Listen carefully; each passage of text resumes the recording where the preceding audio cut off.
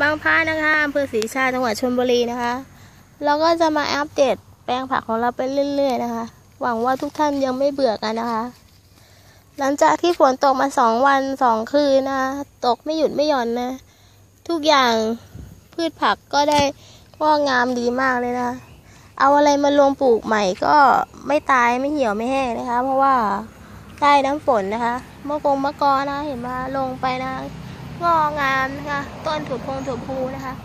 อ่าแตงกงแตงกวานะคะ ออกลูกค่ะ ไม่หยุดไม่หย่อนเลยเต็มตู้หมดแล้วค่ะ กินไม่หมดแล้วค่ะ อันนี้อ่าตอนนี้ขั้นทดลองปลูกนะคะเราก็ปลูกกินเองไปก่อนนะแล้วยังไม่ได้ส่งขายที่ไหนค่ะ เพราะว่าก็ยังไม่มากพอสำหรับที่จะขายได้นะคะเราก็ปลูกกินไปก่อนค่ะอ่าเป็นขั้นทดลองนะคะ ถ้าว่าเดี๋ยวตอนนี้ลงถั่วพุ่มไปเยอะมาก